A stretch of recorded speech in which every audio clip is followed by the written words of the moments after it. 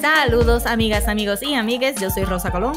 Y yo soy Mario Alegre Femenías y esto es Desmenuzando. Yes.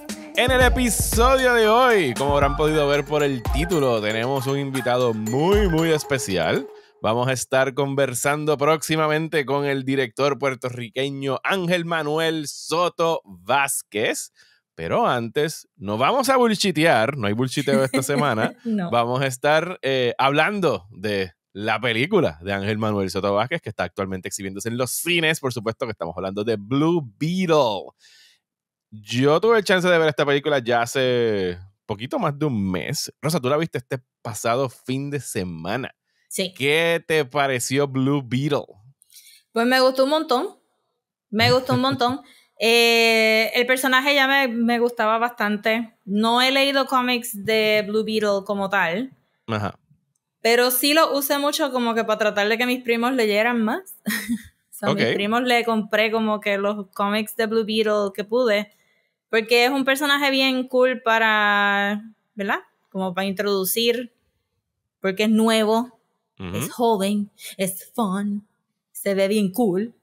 Eh, pero realmente nunca me senté a leer los cómics como tal, pero sí me gustó verlo en Batman Brave and the Bold, The Actual Ba- Batman Brave and the Bold. Este, y en, en Young Justice. Y de verdad que fue un personaje que sacaron rápido de los cómics y lo pusieron en otro, ¿verdad? En otro formato. So, so estaba bien pompeado para ver la película and it did not disappoint. It was really good. Sí, estoy, estoy de acuerdo contigo. eh, es una película bien amena, bien divertida. A mí me dio como que este feeling a un throwback a los 90s eh, superhero movies, como que se sentía más Porque había down mucho to earth. Sí, mucho neón. La música estaba bien nítida. La música era Sí. very synthwave, eh, bien evocativa de esa época. Pero también me refiero en el sentido de que, o sea, mientras las películas de superhéroes, pues en la pasada década han como que tratado de ser bigger and bigger and bigger, esta, it went small en el sentido de que el enfoque no fue tanto vamos a salvar al planeta, sino como que vamos a salvar a nuestra familia y nuestro barrio y nuestra gente. Sí. Y, en, no y en era- el camino salvar al planeta. Ajá. también del- Military Industrial Complex. Exactamente. Es, eh, es pertinente decirlo ahora. Spoilers para Blue Beetle. eh. Tanto en esta conversación que vamos a tener ahora como la que vamos a tener más adelante con, con Ángel. Eh, que, hablando de la familia, eh, ¿qué te pareció lo- lo- los actores, el elenco, ¿sabes? El, el core group de la familia Reyes? Pues tú sabes que los encontré super charming. No me recuerdo dónde yo he visto a la nena, a Millie. Déjame buscar Milagros. Yo te digo ahora. Este, pero sentí que la había visto en algún lado. Yo no he visto Cobra Kai. Esta es la primera vez que yo veo al infamous Cholo. Este. Infamous, lo- ¿por qué? Porque todo el mundo sabe de este nene. Como que yo no sé cuánta gente hay en Cobra Kai, pero este es el nene que todo el mundo habla. Como que. Te voy a decir dónde viste a Millie. ¿Dónde Eh, Millie? Hocus Pocus 2, dice. En Hocus Pocus de verdad. Ella es Yes. Izzy. Izzy, dice aquí que es. eh, y dice que Sí, también sí, salió en American. Horror Stories. Eh, Ah, en no Stories. en Stories. sí, si esa no la viste, pues no vas a ver. Pero sí, definitivamente Este, la digo, viste. probablemente la vi, sí. Maybe fue uno de esos. Maybe fue el de la casa de las muñecas de Ok. American Horror Stories.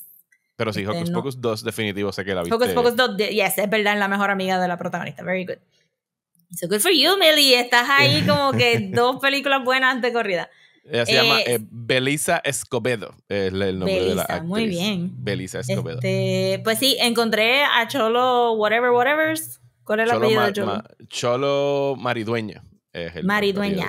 Excelentísimo. Sí, Qué súper nene más charming. chulo, como que Ajá. handsome, la sonrisa, buen comedic timing, este, bien heartfelt también. Me gustó que en esta película hubo que salvar a Jaime un par de veces.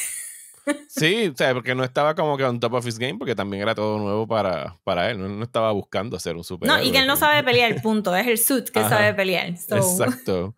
Tenía ahí como que un poquito. No sé si tú llegaste a ver en algún momento la película Upgrade, que era como que el dispositivo este que es una película, está, está disponible por ahí, está bien tripiosa. Es un dispositivo que, un tipo que da cuadrapléjico y permite que este Elon Musk type eh, billionaire le instale como un chip aquí en la espalda para arreglarle la espina dorsal y todo eso, pero tiene un AI que le habla como si fuera un, Jarvis o whatever, y cuando él le da command del control de su cuerpo, pues él puede hacer todas estas cosas, ¿sabes? Sobrehumanas.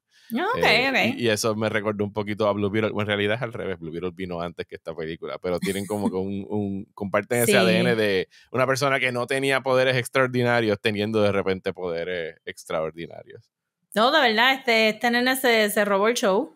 Eh, yo usualmente no soy fanática de George López. Ok. Eh, pero aquí estuvo bien funny. Yo sé que su, porque después vi la película con Ivia, la vimos gracias al Día Internacional de Cine.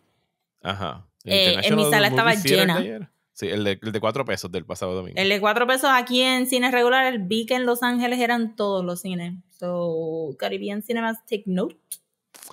Sí, yo vi eso también. Sí. cuando yo hice el anuncio por Instagram fue como que este domingo, ¿sabes? Estrenos del 2023 a precios de 1993, asterisco, excepto las salas premium, esas están a precios del 2013. Bueno, en Los Ángeles pusieron las salas premium también, pero también, porque realmente este, se vio súper bien. Mi sala estaba llenísima, todo el mundo se estaba riendo correctamente en los sitios que había que reírse.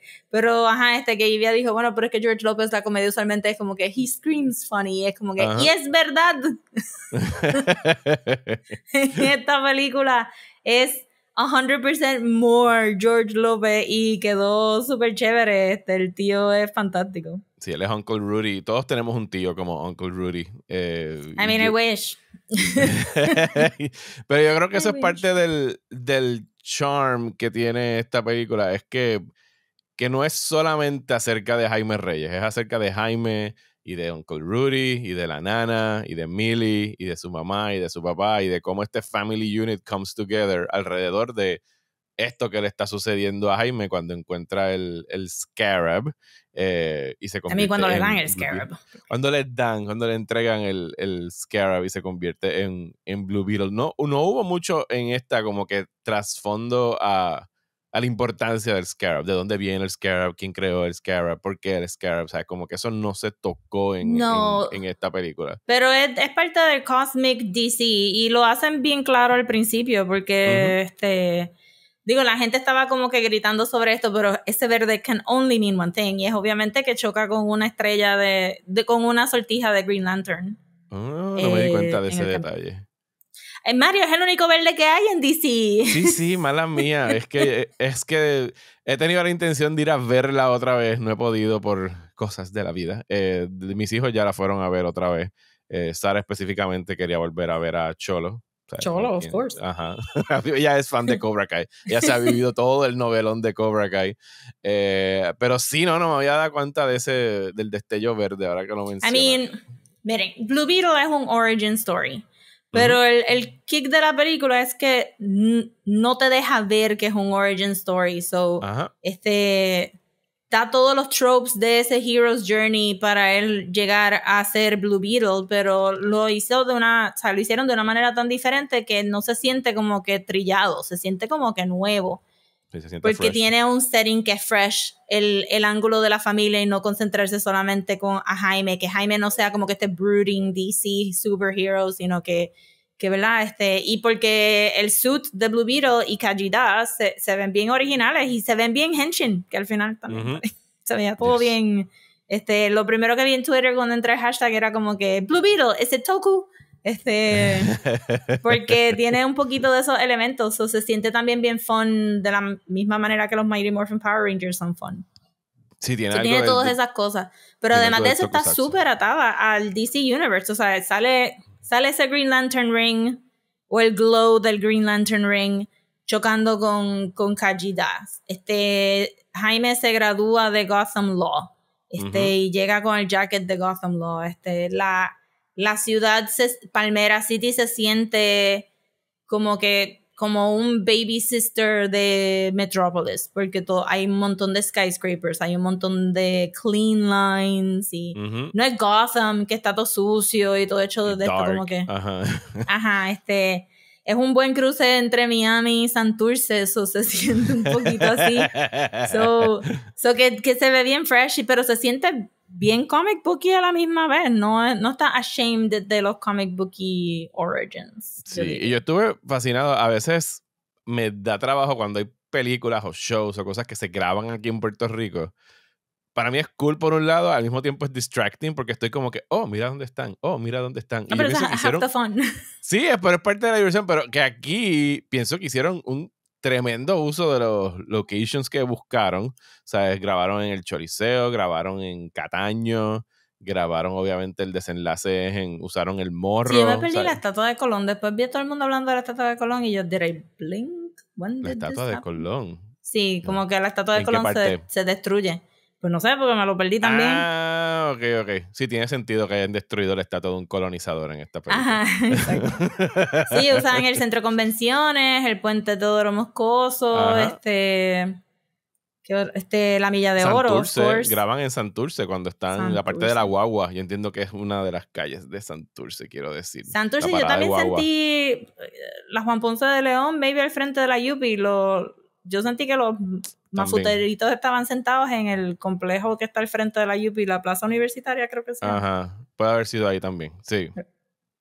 Eh, pero que sí, que hicieron tremendo. el morro. Hello, el morro. El morro. Me encantó ver el morro en un action scene. Ya no, voy a, ya no hay que hacer referencia a Amistad de Steven Spielberg para hablar de la mejor película que ha utilizado el morro. ¿Sabes? Porque a mí me encantó. ¿Cómo era que se llamaba? Shield, que Shield vino a grabar acá en el morro. Ah, pero yo no vi Shield, no me acuerdo. Sí, yo tampoco vi Shield. Pero me encantó ver como que el, no sé si tiene algún nombre porque no me acuerdo, o sea, ya va más de un mes. Pero el escarabajo, el, el, el Scab Bat, o la unidad donde se montan, como que el tanquecito. Ay, tiene un nombre, pero es que no, no me recuerdo. Porque también, como estaba, como, cuando estaba con Ivia, las referencias que le estaba dando era como que, ¿te recuerdas en Watchmen que Night Owl tenía Archie? Eso es lo que estamos viendo ahora. Me encantó no verlo como que trepando la muralla del morro y cayendo en la parte Sí, eso para mí fue como que super Mighty Morphin Power Rangers. Yo, yes, esto se ve adorable. super cute. Este, y las casi, la casa, este, los Keys, este, ¿cómo era que se llamaban? ¿Los qué? Eh, el barrio donde ah, viven la familia se llama Los Keys. Ajá. Sí, pues se veía bien Santurce. Eh, donde viven los reyes, la casa de los reyes. Eso es, lo encontramos los otros días en, Google Earth y después lo confirmé con, con saludos a José Denisart, que trabajó en el crew acá de, de Special Effects. Eso fue Cataño. Cataño. técnicamente me dicen eso es Guaynabo, pero cuando pasan cosas malas es Cataño, porque que hay dentro de la colindancia de, Cataño, está un poquito atrás de, la, de la cárcel federal. Oh, ok, eh, ok, ok. Y es una esquina de una calle que tiene como que un terreno verde, solito. Y lo, y lo que construyeron ahí fue la fachada de la casa. La fachada de la casa, los exteriores. Mm. Los interiores lo hicieron después, creo que en Atlanta. cuando de hacer los tengo, que ir a, tengo que ir a Cataño, lo tengo en la lista de revisit this place, porque no lo he visto tantas veces. Pero toda esa, o sea, el kick de los, de los cascos este, de, de, los municipios de Puerto Rico es que se parecen un montón, como que... Sí, no, yo pensaba en algún momento cuando los vi en el cine, yo dije, esto parece que pues esto puede ser Country Club, esto puede ser Carolina. Yo pensé en Santurce y después dije, ¿cómo? ¿Cómo grabaron en Santurce? Ahí no cabe nada. Como que no cabe ningún camión, no cabe ni un solo micrófono. Good luck to them. Pero Cataño me hace sentido porque está suficientemente out of the way que entonces Digo, a mí me dio un montón de risa. Miren, gente, pueden ver esta película para historia. Después la vuelven a ver para cachar los easter eggs. Después la vuelven a ver para coger los locations. Y la cuarta vez la ven para mirar a los extras que están en el fondo porque algunos se robaron el show. Y había uno que cogieron parado en el balcón que claramente no era un official extra. Estaba ahí de presentado, el Estaba en full pose de viejito, ahí con el codo trepado, las piernas cruzadas, como que mirando qué carajo esta mierda que estoy viendo al frente mío. Y yo, mira ese. Y apareció uno sin camisa ahí, como que en el bonche. Yo espero que ese señor haya ido al cine y se haya visto y haya dicho, ¡Eso era! ¡Eso era! Yo pensando que había pasado algo malo ahí al frente. Ay, todos esos chorre guardias que habían ahí de madrugada apuntándole a la casa esa. Tú sabes que todo el mundo estaba en la escena del SWAT, todo el mundo estaba en las ventanas así como que, ah, ¿qué está pasando? Estaban las noticias grabando, no sé por qué estaban todos ahí. sí, estuvo bien fónico ver a ese señor en el balcón. No, pero el, el world building estuvo bien bueno. ¿sabes? Palmera City se siente como un, como un full city. Oso, tengo que decir que en el fondo hay un montón de arte local. Sí, Este- tú lo señalaste, lo pusiste en Instagram o en Twitter, pusiste como Sí, que un y yo sé un que no cogí era. todo. Ajá. Porque este Stencil Network, si van a la cuenta de Instagram de Stencil Network, que es The Stencil Network, Ajá. él hizo el mural de la Virgen María que se ve al fondo este, en el barrio de ellos. Eh, y tiene, tiene reels del proceso de cómo llegó allí y eso. Pero la casa de Victoria Cord tiene piezas que yo vi en Santurce Ley este año, que son las Oh. piezas de Canutillo. Me pusieron el nombre del artista en Twitter. No lo voy a buscar. Sí, ahora. yo, yo vi que Pero- te contestaron. Sí.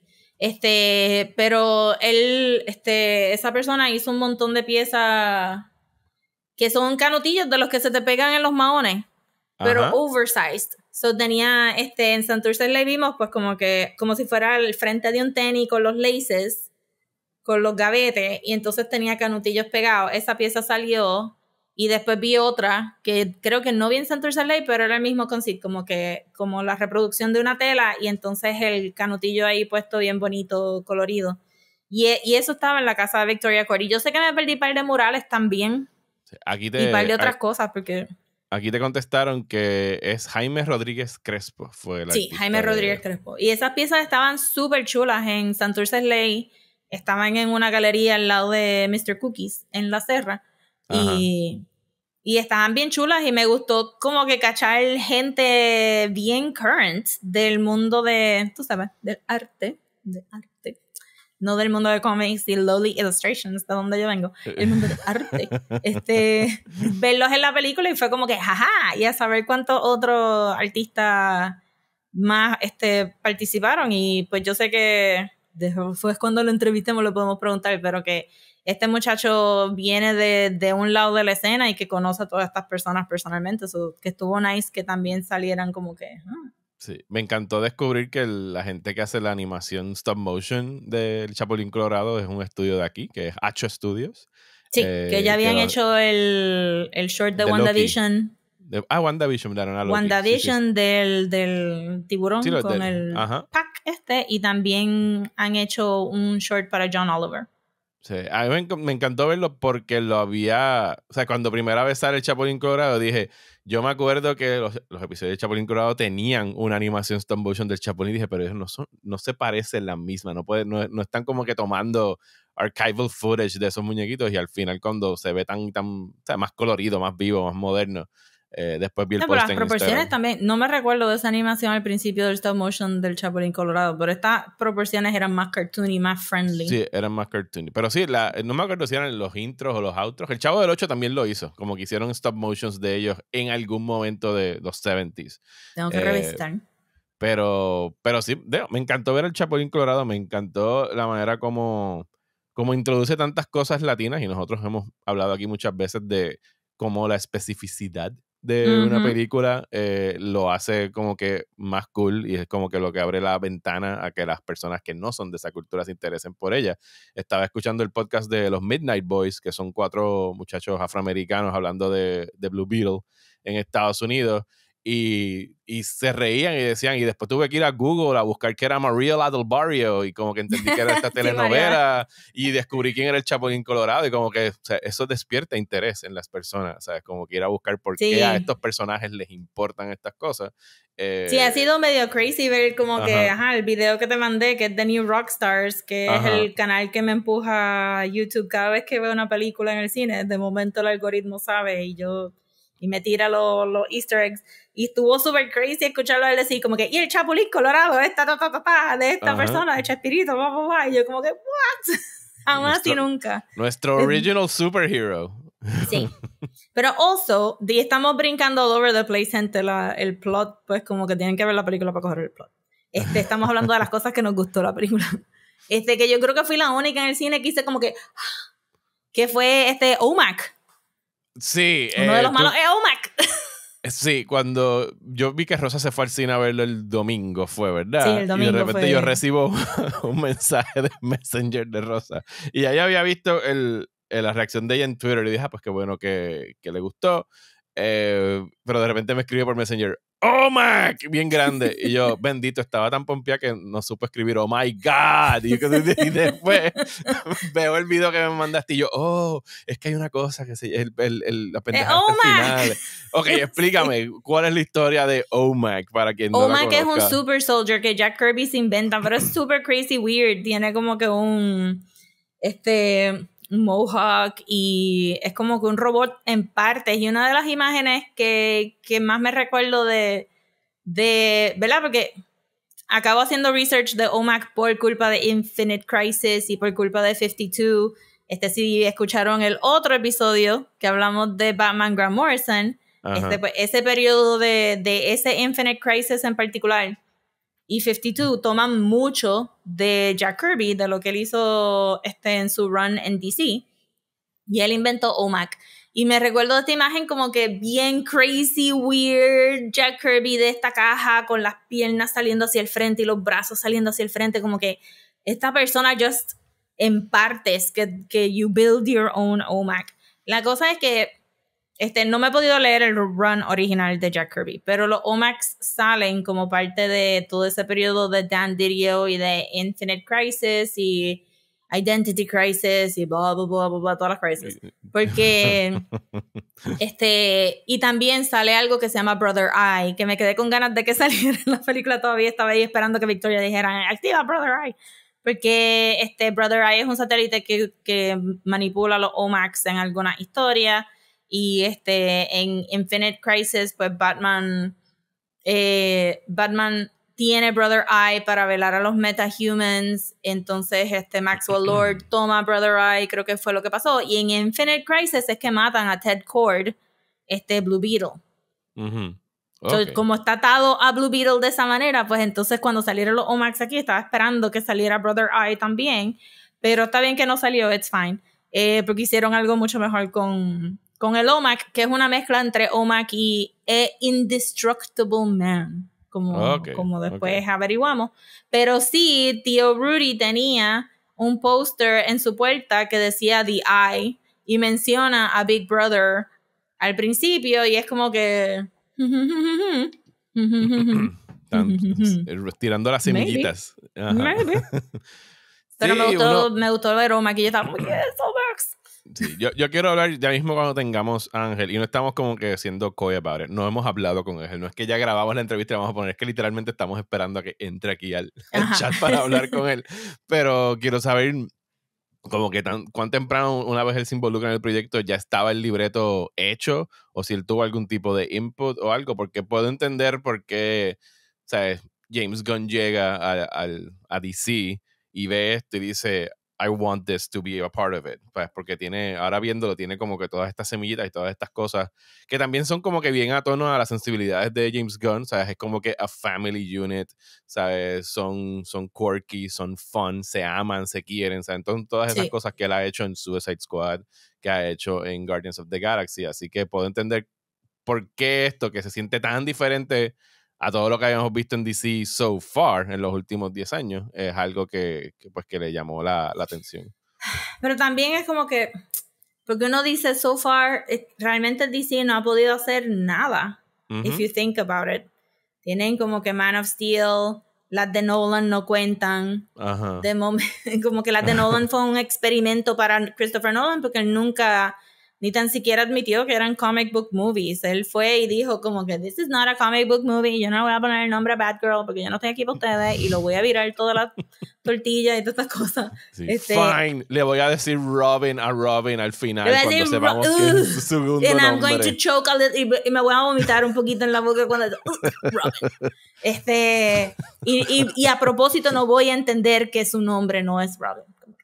Solo hizo todo para molestarnos. Las de, no, las de Nolan no cuentan, eran más de Christopher Nolan que nada. Comic books, Este, y entonces, pues viene Man of Steel y todo el Revolut de Justice League y Wonder Woman pega, pero la segunda no. Y es como que realmente no han podido. Aquaman pega, pero la segunda no, no ha salido. no sabemos todavía. Gonna go on a limb and say que no va a pegar. Este, y realmente no han podido hacer nada. Yo diría como que sí. Y a mí me gustó mucho Man of Steel. un montón. I've Hay un- said it a un- million hay- times. Hay, un episodio aquí, lo pueden ir a buscar. creo Lo pueden escuchar todo este Ajá. thing. Pero Blue Beetle se siente como. Y The Batman también está cool, pero The Batman también, las películas de También Batman está y la, afuera, está aparte y de la del Joker cosa. siempre se sienten como que esto es un director que vino a jugar con Batman, no es una película de. Batman. So, para mí, Blue Beetle se siente como, oh, ahora es que estamos empezando. A mí, a mí me recordó a ver un episodio de, de Justice League Unlimited. O sea, era como que así, fun, Y liviano. a mí uno de CW, yo como que, Ajá. yes, this is what I wanted. Yo quiero como que the cheese, yo quiero the camp, yo quiero the fun. Me hizo también pensar que, que a pesar de que Man of Steel sí tocó algo de la unidad familiar de Clark y todo esto, pero bien poquito. Ujú. eh, que, que me recordó, el Blue Beetle me recordó un poquito a Bob's Burgers, que es como que uno no se da cuenta que poquitos shows de verdad hablan de I love you a su familia hasta que ves a una Sí, familia que- decirse I love you. Sí, que no es un dysfunctional family, sino que un very Ajá. lovable, o sea, working together family. Y que tiene que ver mucho con que no dejaron que Jaime fuera, este, tú El sabes, renegade, o sea, el como que me voy a separar de mi familia porque lo voy a poner en peligro, bla, bla, bla. como Ajá, que- el Spider-Man de como que nadie puede saber quién soy porque entonces está y era como whatever, que y no, vamos allá, mete mano, o sea, la abuela guerrillera al final con la, La abuela era como guerrillera. que me Que encantó ver a brutal. Barraza ahí. Este, pero que sí, que tú sabes que a pesar de que a Jaime le dan el, el Scarab o a- sabes que le dan a Kajida, este, es la familia completa que descubre que es Kajida y después todo el mundo tiene que bregar con, con Jaime y todo el mundo lo quiere ayudar.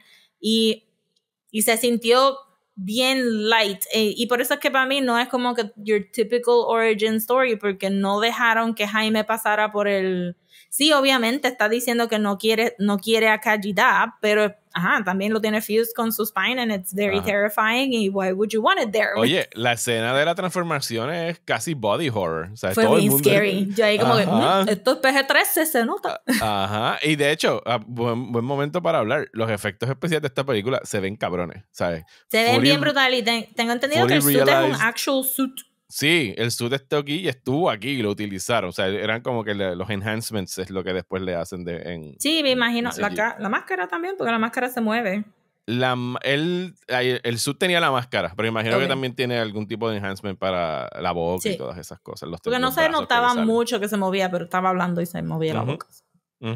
Sí, sí, este, todo, y se veía perfect, como que just the right amount of this does not belong on Earth, Ajá. pero a la misma vez very much belongs in the movie y, y lo fotografiaron bien todo el tiempo, como que. Sí, y no, no trataron de que fuese cartoony, o sea, eh, o sea, pero tampoco querían que fuese super serious, era como que un balance entre las dos Sí, yo cosas. me y- imaginaría que le dijeron a Cholo como que actúa como si no tienes el suit, porque qué carajo, no. Y, que su introducción es en broad daylight, que, que ni siquiera como que trataron de ocultarlo en, pues, en Ahí, al lado de todo era moscoso. ¡Bam! Ah, Ajá. Este, pero sí me gustó un montón. Y me gustó eh, el tonal shift. Obviamente, en el tercer acto las cosas se ponen un poquito más serias y el morro está fotografiado. Este, me recordó un poquito al tercer acto de Shin Kamen Rider. Me recordó mucho a Shin Kamen Rider todo el tiempo, Mm, actually. sí, Pero ajá, que está oscuro, el morro está oscuro, pero tienen todas estas luces rojas porque Indestructible Man slash Oma, que es el que está acaparando en ese momento, y pues esa pelea del pasillo que sale un poco en el trailer, eh, pues estuvo buena.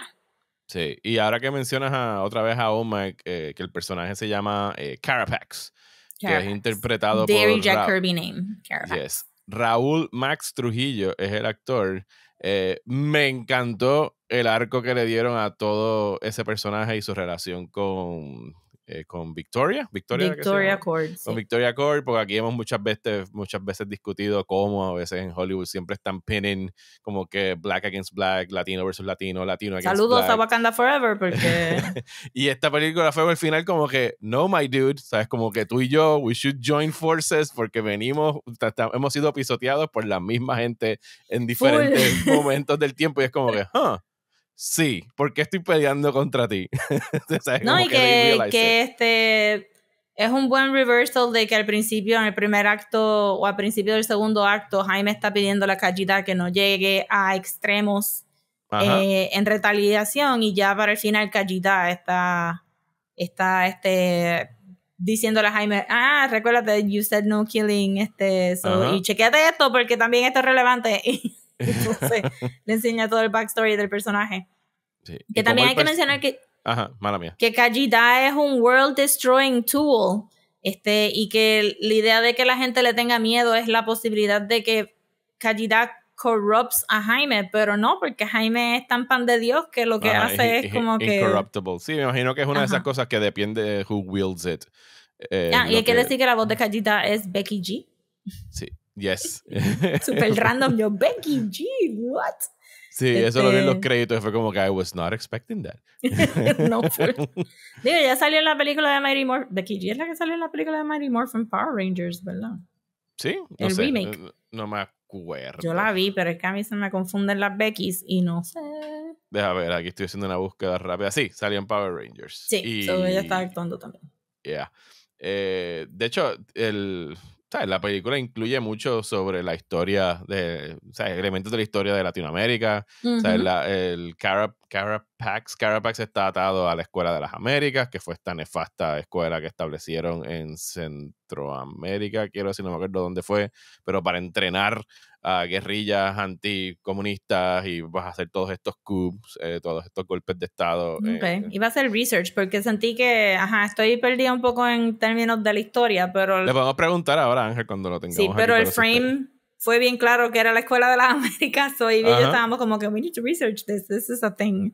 Sí, eh, eso está la lucha zapatista en, en, México, que de ahí es que venía. Entiendo que la abuela de, de Jaime, o sea, eso fue donde... sí, ¿verdad? Por las trenzas, porque se, se quitó las trenzas y fue como que, this means something.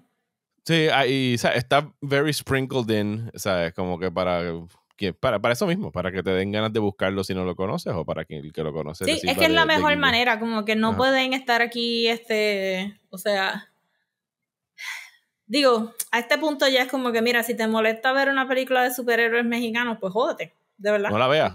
No la veas. Fuck you. Porque este, no hay que cater a las personas que, que están lloriqueando sobre force diversity y bla, bla, bla. Fuck you, váyanse para el carajo todo.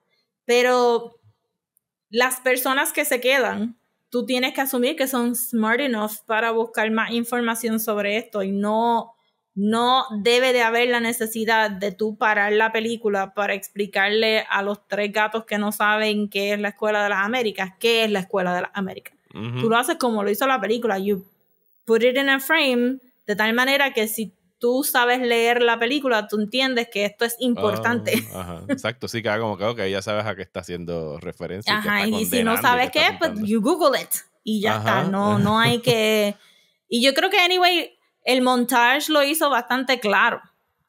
Pero ciertamente si tú tienes la duda de que si la Escuela de las Américas es algo que se inventó la película o si es verdad, then you Google it. Mm, yes. So, eh, este, creo que también fueron clever, el libreto y el framing fue bastante clever de no hubo hand holding para explicarte qué es el chapulín, qué es este, supongo que era la Virgen de la Guadalupe que estaba ahí framed. Eh, cuando Jaime se está convirtiendo, este, cuál es, qué, por qué la abuela le está echando la bendición, por qué la abuela después mata a un zafacón de gente en el tercer acto. Como que no hay que, que explicarte estas cosas. You either know it or you don't, and if you don't know it, you can look for it yourself. La película tiene otra historia que contar y esto es para la gente que sabe.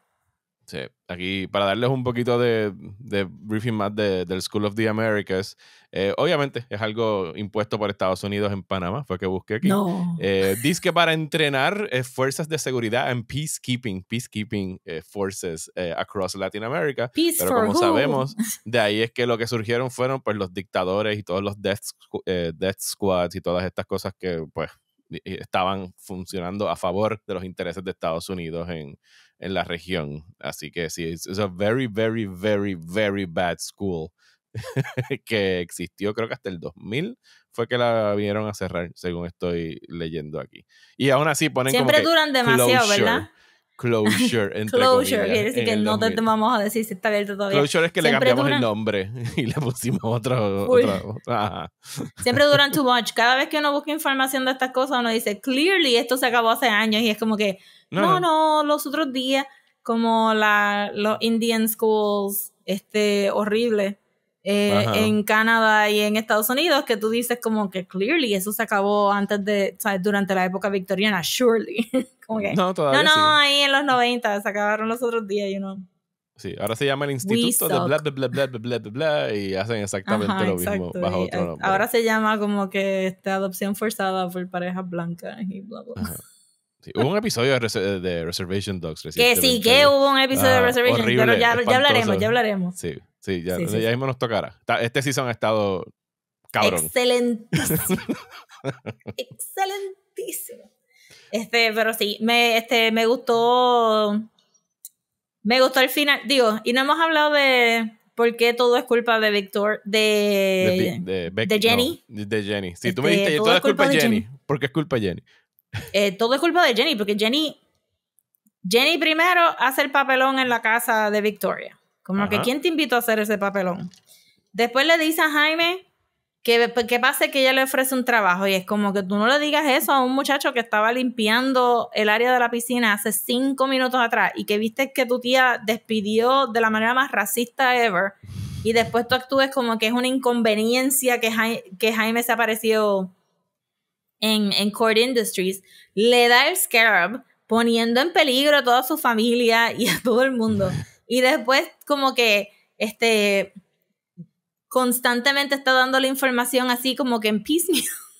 como que, Jenny, tienes que meterle más a esta situación. No estás haciendo nada. Y después al final los dejó pensando que ella no iba a pagar la casa todo ese tiempo. Ajá. Ellos estaban como que, "Diablo, el ¿qué vamos a hacer?" Y yo- Y yo, lo- en el minuto Jenny final no de la dijo película. que iba a pagar la casa. What? y After yo all this en el cine after como all que- this ordeal. What? Y cuando ella llega, yo como que, y que ella dice, hi, I'm here, yo, with a check, clearly, with a check. Porque Que with la check, casa- tenía que darle las escrituras de la casa, olvídate del Bien check. cabrón, ella como, I will help you. Y Yo, lo menos que puedes hacer, Jenny, es ayudarlos a rebuild this home. Porque Pero tú it's sabes all que your fault. en el mundo real ella llegaría, yo les voy a pagar los próximos tres meses de la casa, así que muchas gracias por su servicio. Ajá, y Y cuídate, un it. messenger ahí, como que "Eh, llévale el cheque. So, yo tuve todo, el- todo ese cantito como que, ay, Dios santo, Jenny. Dios santo. Está sí, bien, pero yo espero como que después. Por- me gustó que la dejaron hablar portugués un, un momentito porque cuando este se, se zafa del helicóptero ya le dice le habla a Victoria en Sí. portugués por dos segundos me pompió un montón pensando que Jenny posiblemente pudiera ser la futura Fire eh, del Justice League International hay uno Mm. En Justice League International, donde sale Ted Cord Blue Beetle, donde sale Booster Gold, que va a haber una serie de Booster Gold supuestamente en algún momento. Este, hay un equipo que se llama Fire and Ice y Fire es eh, brasileña y Ice es de Noruega. Y cuando ella empezó a decir que, que Ted hacía como que goofy stuff de, de inventos y que también le había hecho cosas a ella, yo pensé como que, yes, and you are fire, I guess. Este, solo tengo ahí como que a pin on it porque siento que, que obviamente la película es latina y todo el mundo se identificó más allá del genérico latino y ella dijo como que Brazil, I am from Brazil. Y habló portugués, so para mí que yes, en parte es porque la película tiene representación latina, but also Sí, pero también tiene especificidad. Y tiene, Mm. tiene, tiene aprobación. eh, eh, cuando tiré mis comentarios de la película después de la premiere, me cayeron como que medio chinches porque usé el término latino y era como que, gente, no estoy. Los mexicanos me cayeron encima, como que, mira, el mexicano. Y yo, sí, hay cosas, muchas cosas de México, pero hay cosas de Puerto Rico, hay cosas de Brasil, hay cosas de, de toda la región, ¿sabes? Como que está sprinkled in. Así que ahora la única palabra que puedo utilizar para comparar todo Sí, pero yo lo entiendo porque a mí me sacó mucho también cuando empiezan con este. Este. Ay, Dios mío, Miles Morales es latino, ¿no? Ajá, es afroboricua. Ajá, es afroboricua. Pero sí, la película palabras. es latina, todo es latina. Aunque, aunque, ajá, una persona que no sea de Puerto Rico no va a cachar los locations necesariamente y se los puede achacar a sí. whatever. De hecho, ahorita que Este- mencionaste el, el portugués, eh, very good use de Spanglish, el buen uso del Spanglish, no el que a mí me saca por el techo, que es el de decir las cosas en español y después traducirlas inmediatamente al inglés, sino como que la mezcla de palabras en inglés y español. todo el tiempo como que I was talking to my mommy while she was mashing the plátanos. Ajá, the starchy fruit that we use for sí, los asteriscos con explicaciones de qué significa los plátanos. Voy a explicar la palabra. sí. sí, very good use del Spanglish, eh, porque es como lo utilizamos. No hemos hablado de, del emotional part. Yo creo que eso lo podemos dejar en. O para hablarlo con Ángel ahora. Ajá. Exacto, pero, pero a mí se me aguardan los ojos en el cine. Tú, tú, estás hablando de lo que pasa con el papá y la familia y todo eso. Sí, y es una escena bien fuerte porque cuando se da todo esto y de la manera que ocurre, o sea, que es el raid en la casa que muy bien pudiese ser, y estoy seguro que así fue que lo pensaron, como que un raid de cuando están separando familias en Estados Unidos. Sí, todo el mundo que yo vi lo mencionó como que es exactamente como pasaría un raid de se están llevando gente. De ICE, un, raid de ICE. Y entonces que eso suceda, que su papá muere en ese instante, que ni siquiera pueden, o sea, es... Usualmente cuando esto ocurre en cualquier superhero story, ¿sabes? Peter Parker o, Bruce Wayne o quien sea de los cientos de superhéroes que han tenido algún trauma morirse en la próxima película de James Gunn, apúntenlo ahí, se lo dije. Pero el superhéroe o el, usualmente tiene ese espacio para estar con su papá, with his dying father or dying mother, y aquí ni siquiera le permiten a la familia estar alrededor de su ser querido. Se toca milagro. Because, they're ripping them away, ¿sabes? En ese momento, o sea, que lo hace aún más angustioso. Eh, sí, y que no se tenía que morir nadie exactamente. Porque nadie nunca si ningún personaje. No sé si es canon que el papá de Jaime muere en los Yo tampoco, pero yo diría como que usualmente en un superhero origin no se tiene que morir nadie si no quiere. Pero el hecho de que, tú sabes, they really tampoco sale de la nada. Te dicen que el papá ya estaba teniendo heart troubles, está enfermo, etc. y, y, toda la escena de, de, del raid, tú estás en tensión de como que hay una abuelita y hay un papá con heart problems. Este, esto no es bueno para nadie. Pero también siento que este, el papá era como que way too positive. Este, y era como que siempre estaba como que se puede de ello. Uy, tú estás como que medio fichado. Este. you're too good. Pero este sí, dolió un par y me, se me aguaron los ojos. Fue una escena bien terrible, como que ver estos young adults, este que Jaime Milagros, como que prácticamente revertiran el chiquito gritando por la mamá, gritando por el papá, este, llorando entre medio de todo este revolú y nadie...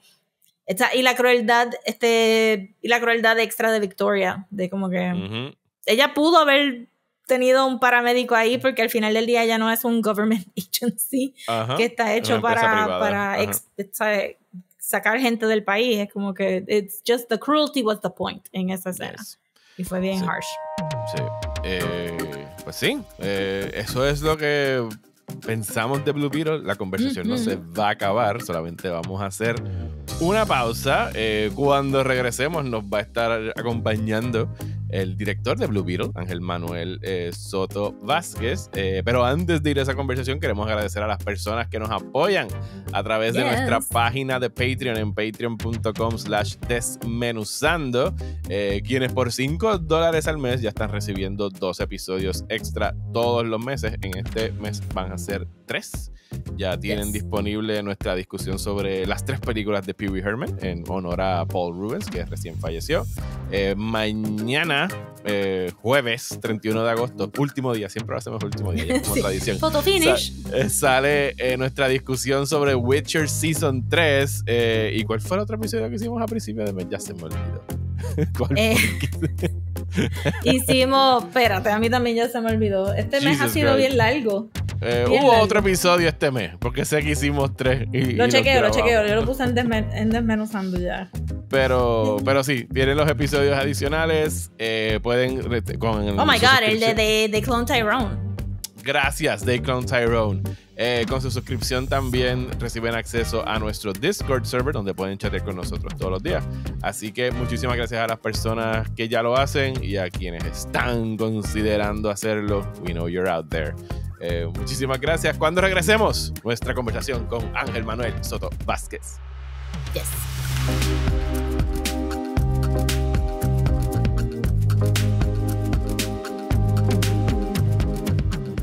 Y estamos de regreso y ahora en compañía del director puertorriqueño Ángel Manuel Soto Vázquez. Saludos Ángel, bienvenido a Desmenuzando. Saludos, gracias por tenerme aquí. Este, un placer Mario, un placer Rosa. Eh, pompeado, pompeado, pompeado estar en este podcast. Nos da mucho gusto que estés aquí. Tratamos de agarrarte durante el press tour de Blue Beetle, pero como tú eras la cara de Blue Beetle, sabes, estabas bien ocupado. Así que aprovechamos a que descansaras un poquito y te cogimos el día después de tu descanso para volverte a hablar de Blue Beetle. Sabes que seguro no estás harto de hablar de ella. Bueno, por lo menos aquí se puede hablar diferente porque ya, ya, ya tú has visto todos los junkets, ya tú has visto todas las preguntas que me han hecho. O tú puedes hacer las cosas que tú sabes, como cuando, cuando, estás viendo los programas de política y la gente le hace las preguntas que no son, y tú estás loco por preguntarle las que son, pues... Pues vamos a tratar de evitar las oh preguntas obvias. Así que vamos a empezar con, con algo reciente. ¿Sabes? Ya se acabó todo el push de publicidad, o por lo menos el, golpe grande del push de publicidad, que, que, ha sido como que lo más nítido para ti en estas semanas post estreno, ¿sabes? De ver la reacción de la gente y todo eso.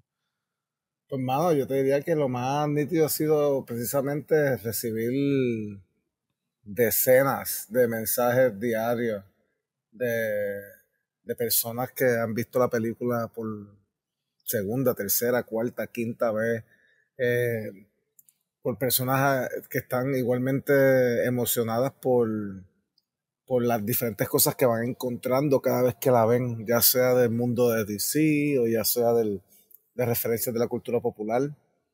Eh, pues yo creo que la más linda ha sido el hecho de que latinoamericanos alrededor del mundo salgan bien pompeados y digan como que al fin algo que, que yo sé, que, entienden lo difícil que es la poder capturar la latinidad porque no somos un monolito. So, Hacer una película que sea de la, ¿verdad? Son mexicanos, pero que a la misma vez todo latinoamericano se pueda sentir como que diablo, al fin, una película que, que habla sobre mí o sobre mi familia o sobre mi ancestro. Eh, he recibido mucho de eso. Y también la otra que más me ha gustado que, que me gusta un montón, que es algo que pues uno, uno siempre sale a hacer la mejor película que uno puede dentro de las circunstancias y de las limitaciones. Y el hecho de que tanta gente haya sentido que es un aire fresco o que, o que es como que volviendo, going back to form, going back to throwback, este, eh, a, la, a, la, razón por la cual nos gustaron los superhéroes en un principio y una historia de origen diferente, donde las mujeres tienen poder y las mujeres tienen empowerment, donde las familias tienen empowerment y no son prop. Como que todas estas cosas que uno set off to do, eh, que, que, en verdad salieron a raíz de, de, de, buscarle la vuelta a, a, las limitaciones que habían. Era como que, ok, mira, no, no tenemos el presupuesto de Flash para hacer explosiones gigantescas cada cinco minutos. Eh, o, o, nos están tratando gajorados, etcétera. Pero ¿cómo podemos entonces hacer algo que, que sea... y es apelando a las emociones, ¿no? Apelando a esa nostalgia, a la emoción, a ese, a ese feeling de, de, de, de coziness que te trae volver a visitar algo que quizás no has visto hace tanto tiempo y apropiarnos de, esa, de esos momentos y ponerla gente como nosotros, como nuestros tíos, como nuestros abuelos, como nuestros hermanos, a formar parte de todas esas diferentes eh, homenajes que le quisimos dar en esta historia de superhéroes en la película. Y, y ese, ese coziness, eso que tú estás buscando de la familiaridad, de sentir el, el calor, de regresar, para ti, filmar la película fue un regreso a casa. Tú, o sea, viniste acá a Puerto Rico a hacer la película desde, o sea, ¿en qué momento tú propusiste y dijiste, mira, yo voy a filmar esto y quiero filmarlo en Puerto Rico? O sea, ¿eso fue algo que estaba en tu cabeza desde el principio? Eso fue bastante meta hasta cierto punto, porque eh, sí, hasta me hubiera gustado, claro, siempre que hago algo, claro, Charm City Kings pues es de Baltimore, es una película de Baltimore, pero esto es una película ficticia donde este los créditos contributivos ayudan y donde puedo regresar a casa, como que dice, a jugar con los panas.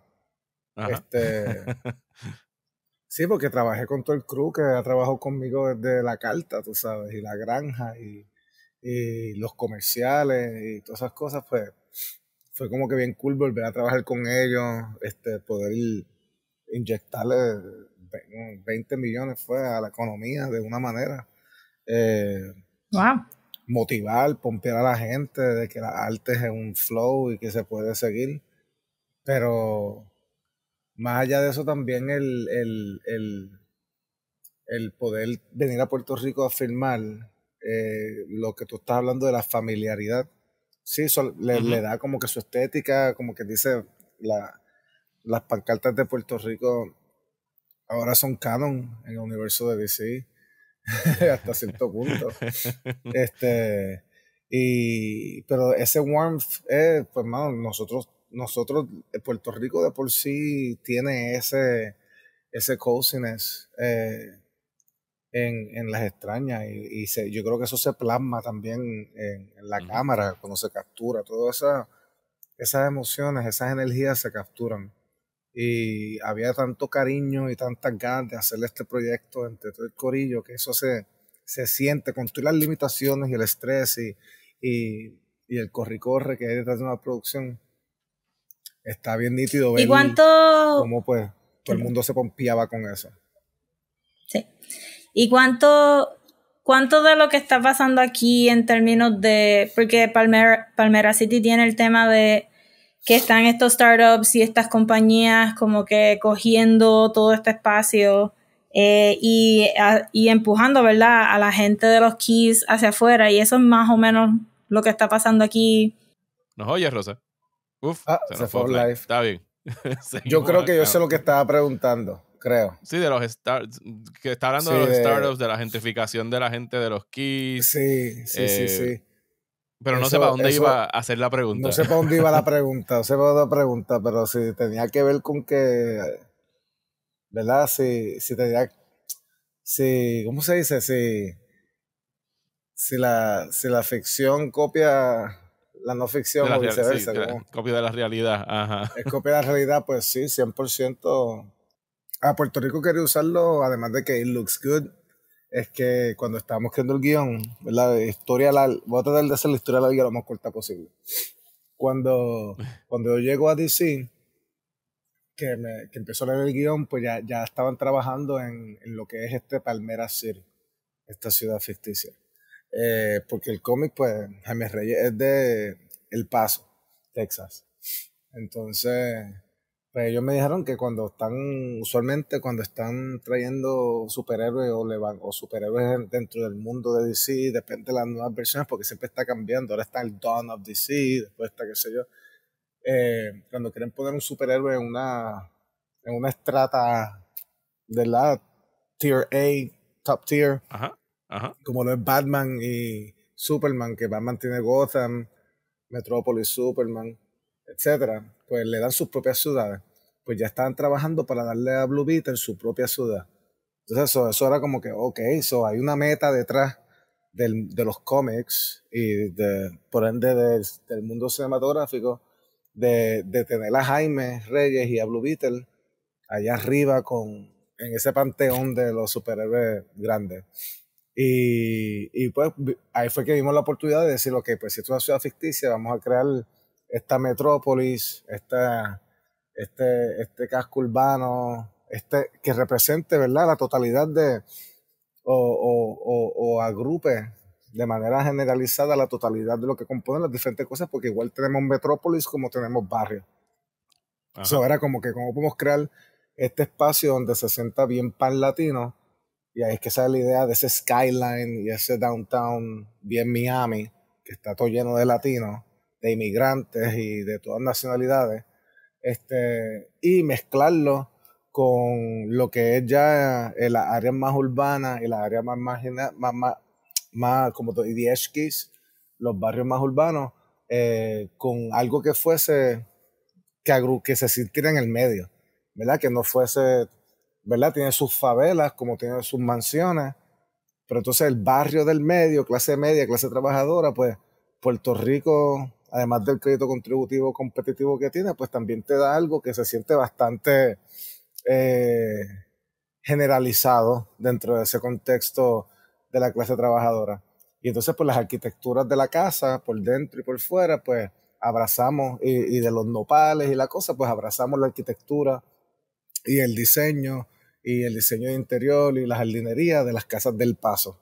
Y así para poder crear todo ese sistema. Pero eh, eso ha sido que la historia larga corta, yo dije, cuando, empezamos a desarrollar la historia en el guion, yo dije, vamos, Puerto Rico es perfecto. Uno, que es lo que le importa a ellos, que es lo económico. Pues mira, eh, está todo el crew, está todo esto, están los créditos. Económicamente es súper viable y hace sentido.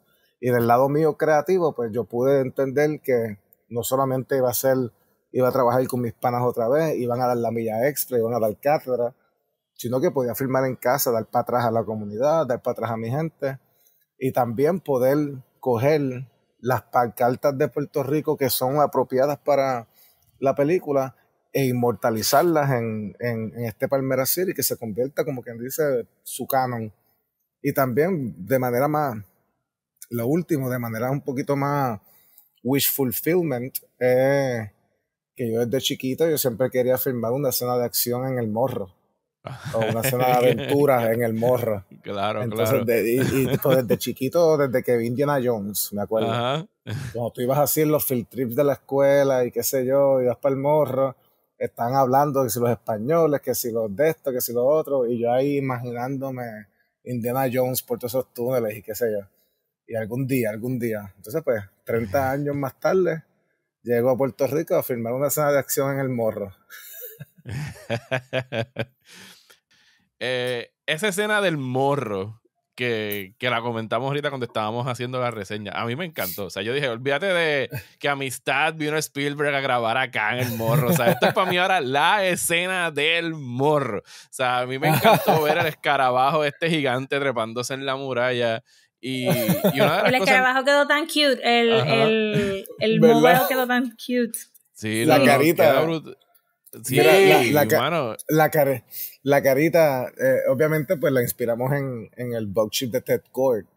Eh, pero yo quería que la carita se sintiera como un poppy feliz.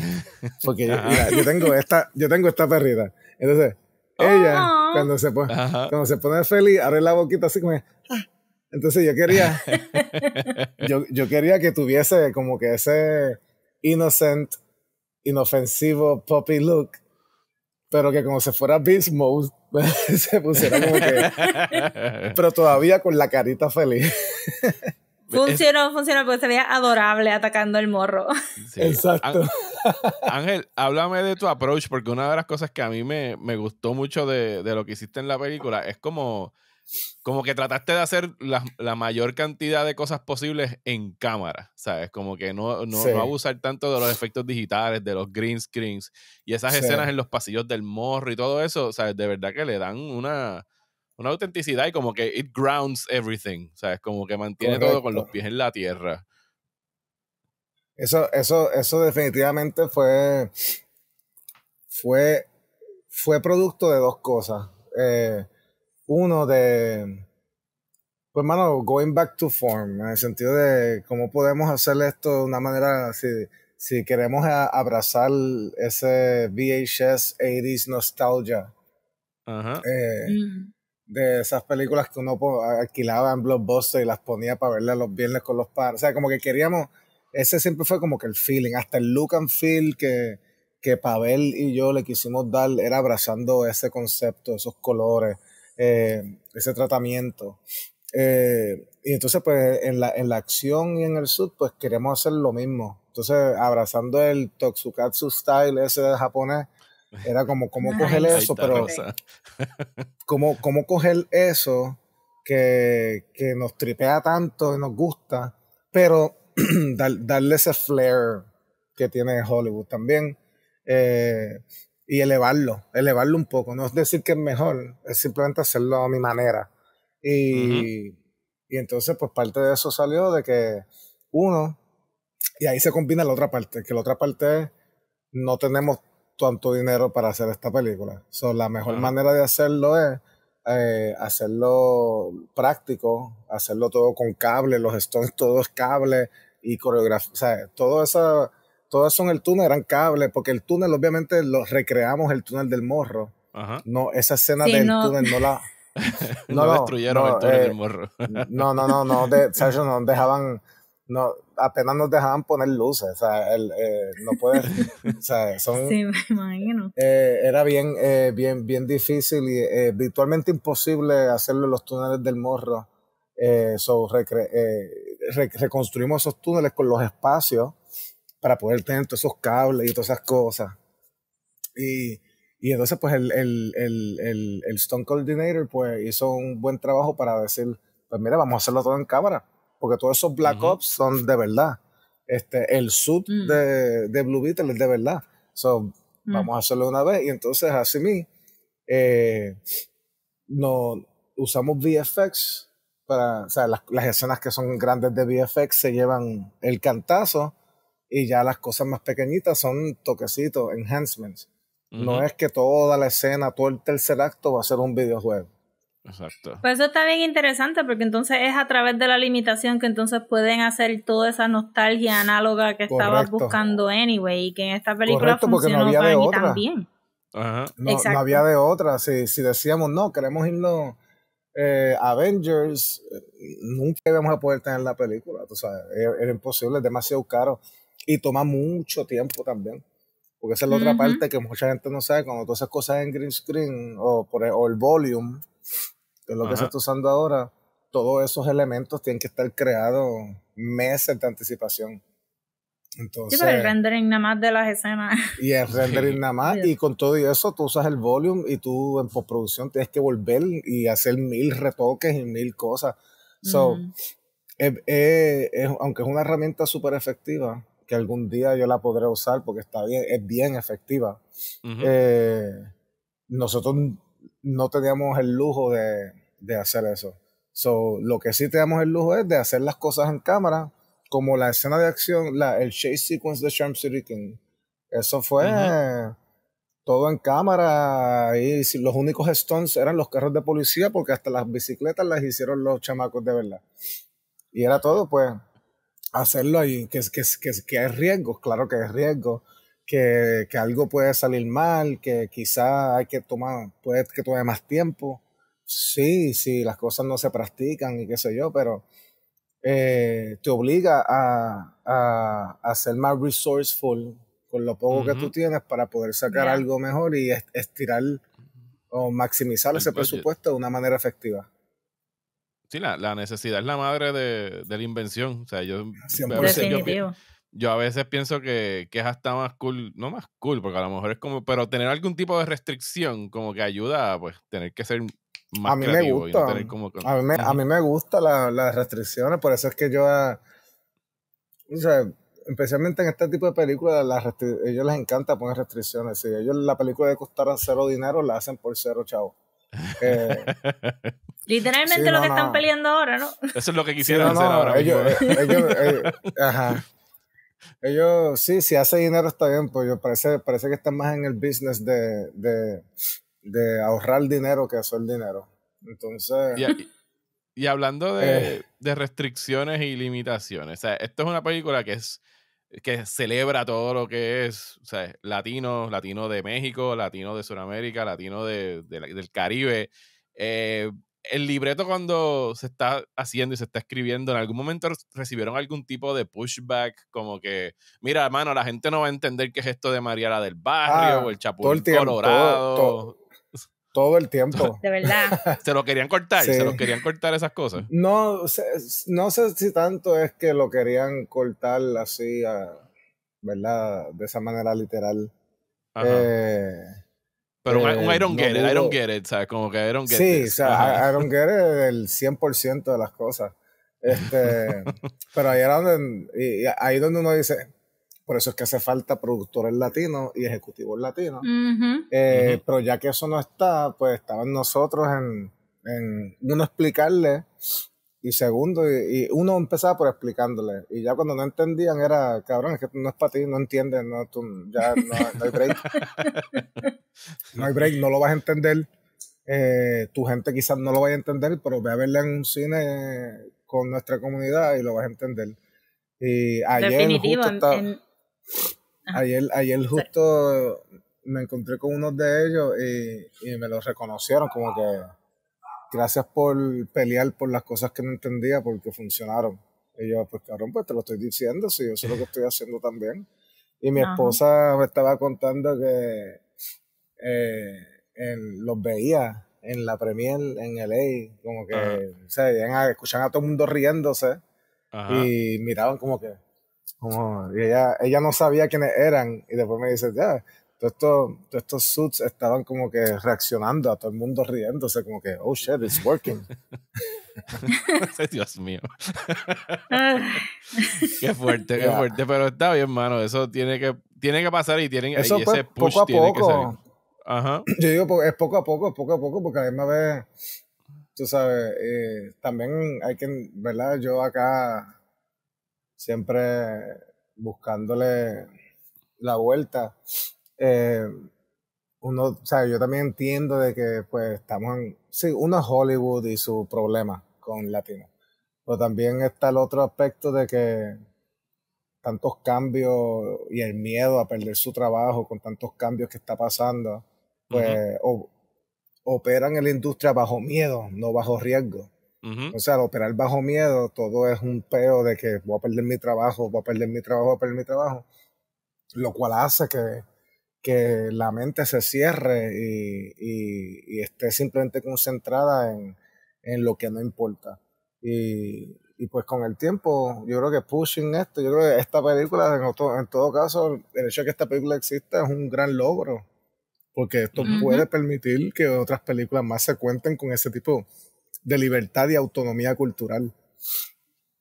Sí.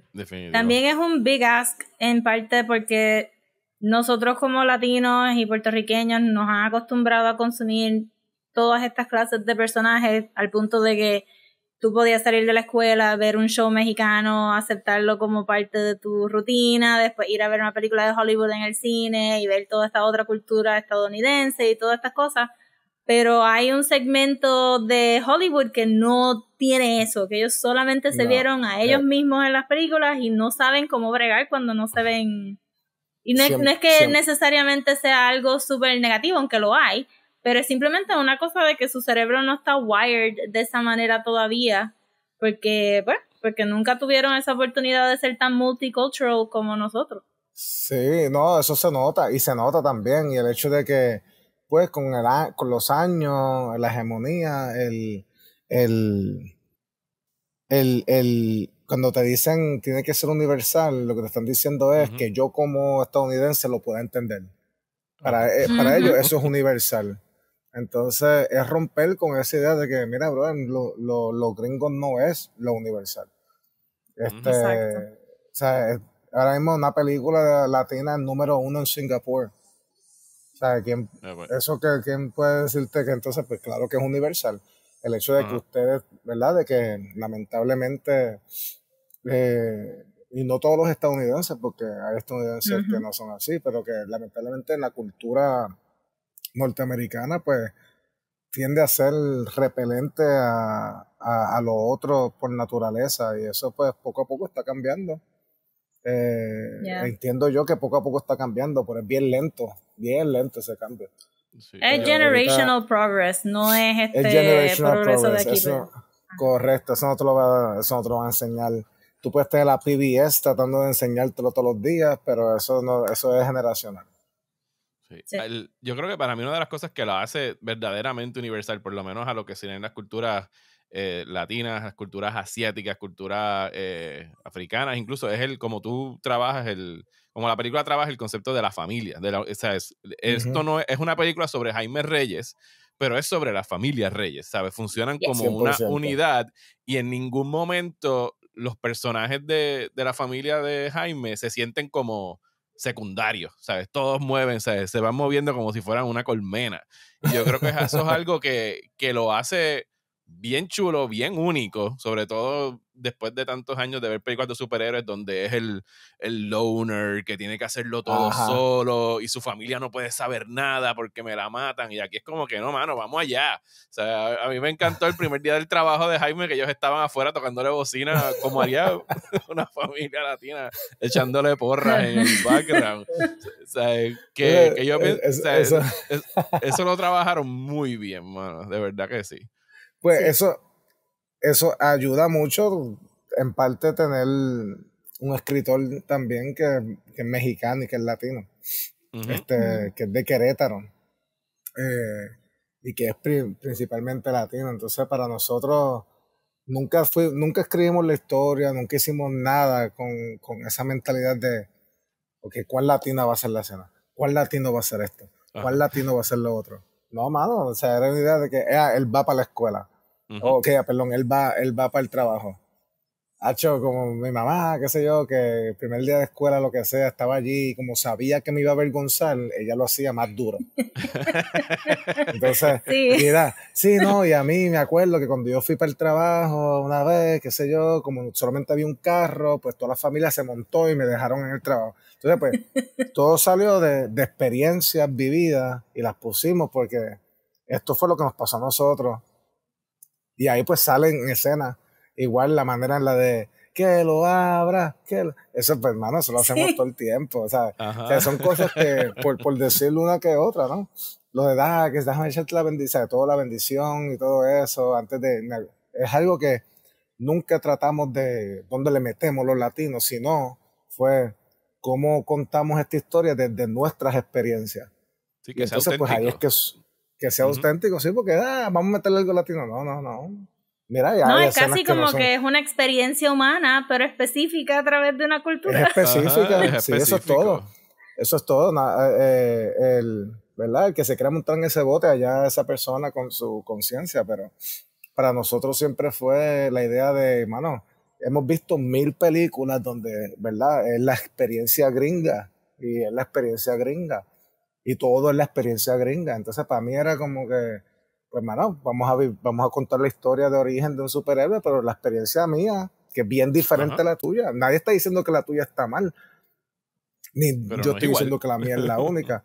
Pero mira, ahora mismo alguien en Singapur puede ver la película y se puede relacionar porque sí, yo también voy para el trabajo, yo también tengo familia.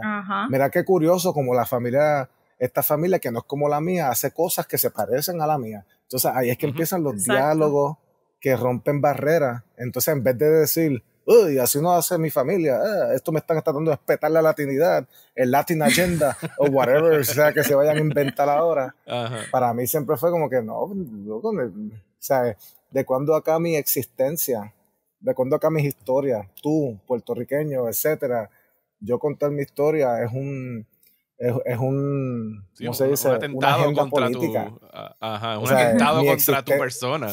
Ajá. Mi existencia no es una agenda política. So, lee tu libro, qué sé yo. Brutal.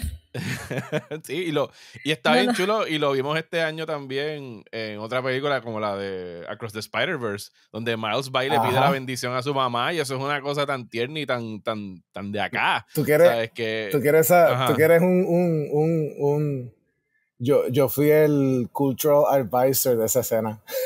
¿En serio? ¿De cuando está Miles hablando con su mamá ahí en el techo? Sí, este. ¡Qué yo, funny! Phil Lori y yo somos panas, entonces, eh, cuando está entrando esa escena, él, él me escribe, me pregunta, mira, ustedes, ustedes piden la bendición, ¿verdad? Y yo, sí, sí. Yo le pido bendición a mis papás, a mi mamá, a, mis, a, a las personas mayores, o sea, de familia. A los elders. Ah, sí, a los elders, pues sí.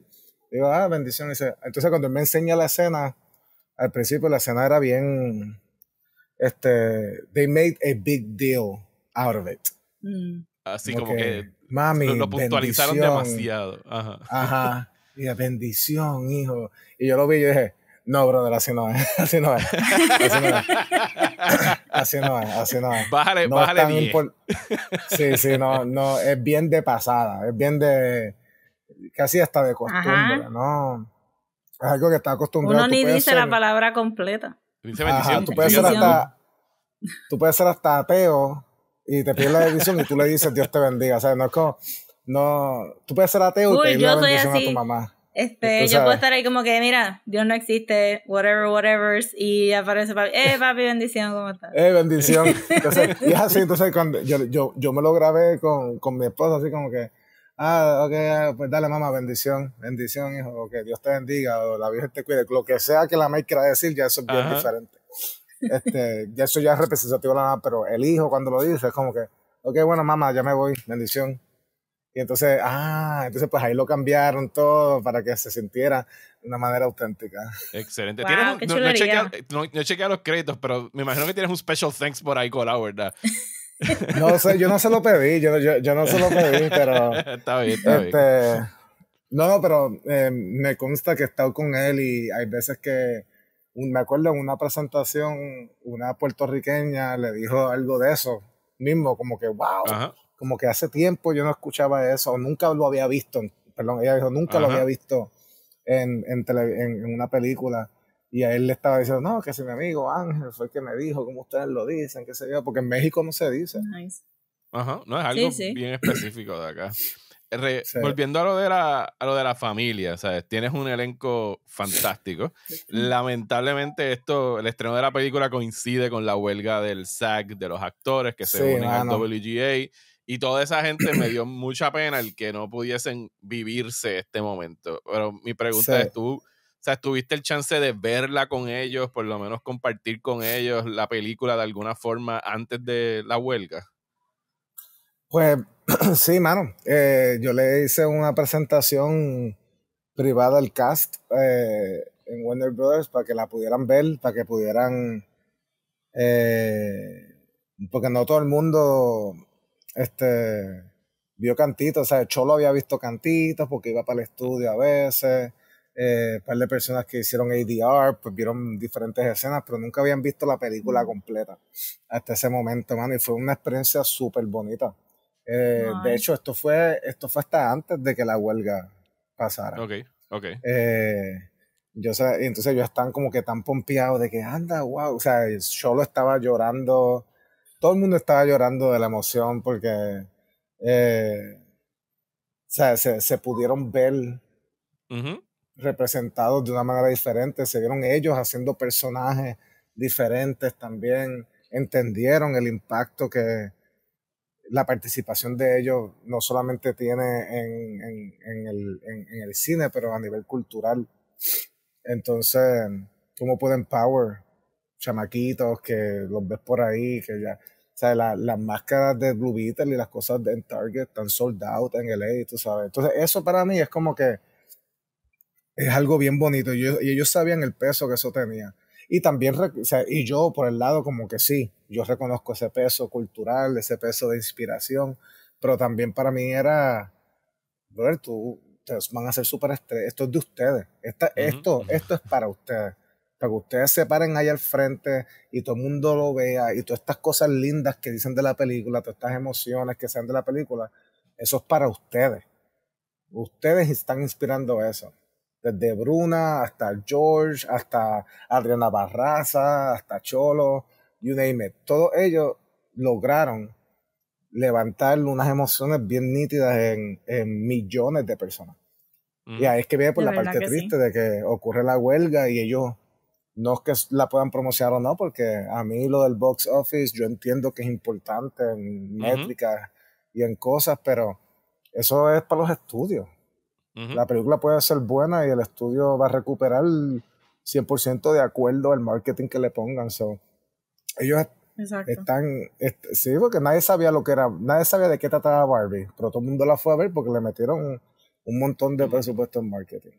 Y eso fue, eh, así funciona. Y el box office es para los estudios, eso está súper bien. Pero para nosotros era más ese impacto que queríamos crear como nosotros, nosotros como héroes, nosotros como líderes, nosotros como, como personas que podemos causar impacto y tener nuestras propias historias contadas de una manera auténtica.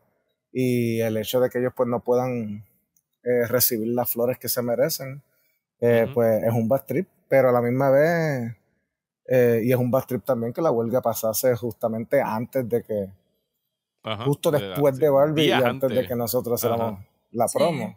Entonces ya el estudio no la iba a mover para el año que viene. Eh, so, me tocó a mí correr con eso y obviamente pues se, se, se, apoya la huelga. Aquí esto no es una crítica a la huelga, en todo caso esto es una crítica a la avaricia de los estudios y su incapacidad de, de, de repartir el bizcocho adecuadamente. Definitivo. Pero sí, la, aquí la culpa de los estudios no es de la huelga, eso, eso es bien importante. Sí, no, no, no, por supuesto. Yo lo decía más en el sentido de que o sea, para, para el elenco tiene que haber sido, sobre todo para alguien como Cholo, que tiene como que este momento para brillar y no poder capitalizar sobre ello y, gozárselo, vivírselo como, como, artista. Olvídate de tener que hacer promo, sino de, poder pararse ahí frente a la gente a, celebrarlo, ¿sabes? Como que... no, y la gente que lo ve, hermano, la, gente que lo ve y, y, las reacciones a su personaje y todo eso es como... Eh, a mí hubiera sido bien lindo poder, poder ver eso porque a nadie le importa, cabrón, que yo soy, a nadie le importa la cara mía por ahí, de, tú sabes, representando a la película. Sure, la dirigí, pero yo, para mí nunca es estar al frente de esa manera. Aquí podemos hablar y toda esa mierda y todo eso está cool, pero a nivel de la promoción de la película, para mí era, eh, eh, eh, era de ellos, es de ellos todavía. Sí. Por eso yo siempre iba con fotos de ellos para las promociones, entonces iba con fotos de ellos. Sí, te vi también como que con la carita de él en un palito. Ajá. Ajá pues sí, yo que esto es para ellos, esto no es para...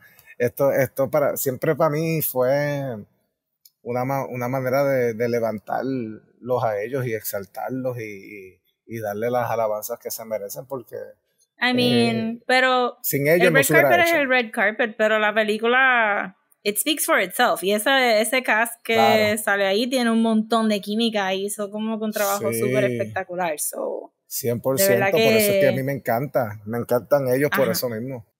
Eh, que esa, esa química. O sea, si es difícil tener una química entre dos personas, imagínate una química de una familia que se sienta que llevan siendo familia por décadas. Y se sentía bien genuina y Cholo como que brillaba en la película, es bien star power.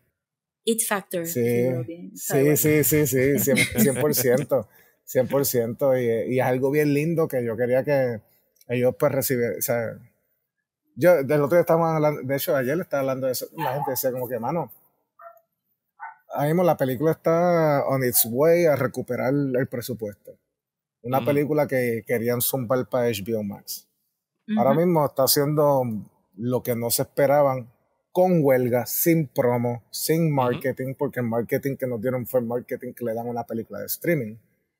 So, mm. con todo y eso, ha resonado de una manera impactante. Y decía, wow, cuánto más hubiera resonado si ellos hubieran tenido ese podio para no solamente hablarlo con sus fans, pero para que la gente los reconociera los talk shows y hablaran con ellos, mano, y todo lo que sacaron y todo lo que porque esa, ese núcleo familiar que creamos fue un núcleo, fue algo bien bonito, fue algo bien bonito que se creó en el set y la protección que nos teníamos. Y al todos ellos ser latinos y mexicanos, pues ellos estaban protegiendo también su identidad en su interpretación. Ellos nunca iban a hacer algo que fuese, uno que nunca tuvimos algo que fuera así una generalización exterior. No, no, no, porque un escritor me... O sea, ahora las cosas que las cosas que nosotros nos tripeamos, the things that we make fun of, sobre algo eh, de estereotipo, lo hicimos con todo el tongue in cheek de this is how you see us, dumbass. Tú sabes. eh, pero tener todo un cast mexicano en el núcleo de la familia fue, fue súper súper importante para crear esa autenticidad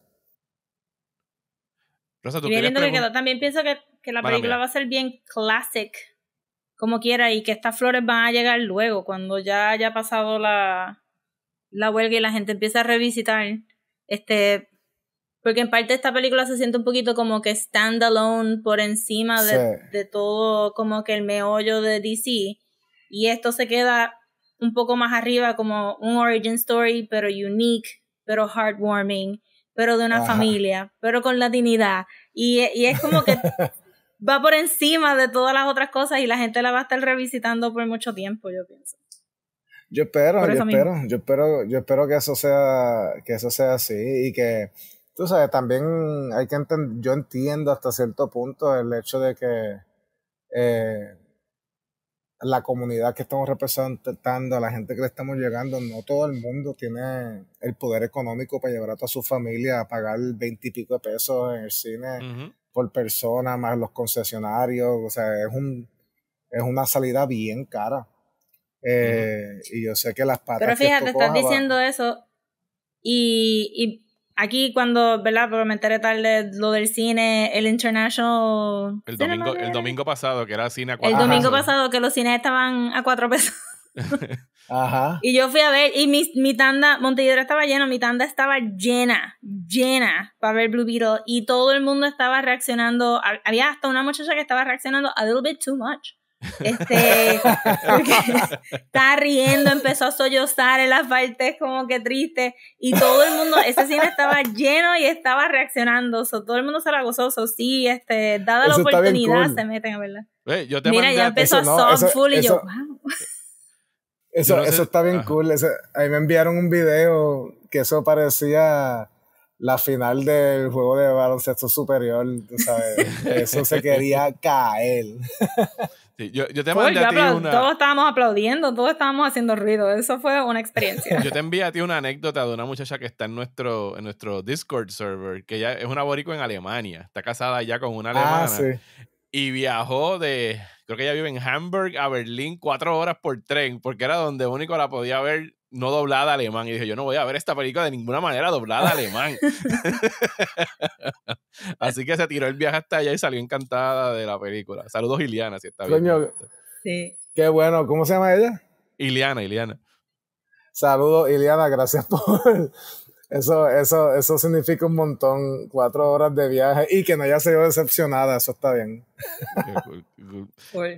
Eh, Rosa, ¿tú querías preguntar algo de los artistas que salen en, en la película? El, arte boricua que está en. Ah, sí, porque. Ah, digo, ya obviamente dijiste España, pero The Stencil Network hizo un mural súper precioso de la Virgen que quedó súper brutal, pero estaba bien complacida de que en la mansión de Cord también habían piezas de artistas locales y que yo había que yo vi en Santurce Ley los otros días. los otros días.